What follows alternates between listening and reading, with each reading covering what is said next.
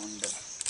आज कैद में करिए तो कल जिला सिद्धार्थनगर ब्लॉक डुमरियागंज ग्राम पुराना की नालियों में कचरा भरा पड़ा है जबकि यहाँ एक सफ़ाई कर्मी नियुक्त है जबकि दो माह से सफ़ाई कर्मी नहीं आया और इस गाँव के लोकुस के साथ 200 परिवार को भी इस बीमारी का शिकार होने की संभावना है।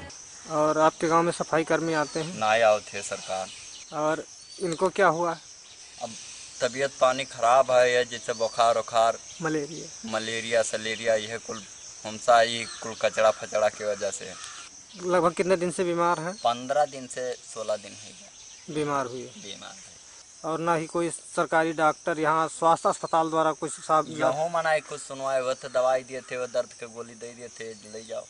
सफ़ाई कर्मी यहाँ कैसा काम करते हैं? कहाँ आते कहाँ हैं? हम ही लोग सफाते हैं यहाँ कोई नहीं आते हैं सफ़ाई करने। में कितना दिन हो जाता है लगभग नहीं आते हैं लगभग लगभग लगभग पंद्रह दिन बीस दिन एक महीना हो जाता है डेढ़ डेढ़ महीना हो जाता है। आप लोग इसकी कोई शिकायत भी कहीं करते हैं कि नहीं? अब इसका कहाँ शिकायत करेंगे? किससे जाएँगे? मैंने यह वीडियो इसलिए बनाया लोकुस के पिता की हालत बहुत ख़राब है ऐसे और भी परिवार हैं जो इस गाँव में मच्छरों के काटने से कई बीमारियों के शिकार हो रहे हैं।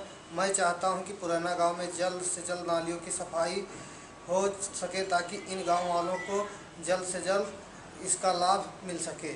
और वीडियो देखने वालों से मेरा यह अपील है कि खंड विकास अधिकारी का मोबाइल नंबर है चौरानवे चौवन छियालीस पैंतालीस अट्ठावन पर दबाव बनाएँ। मैं ब्रह्मजीत सिद्धार्थनगर से इंडिया अनहर्ड के लिए।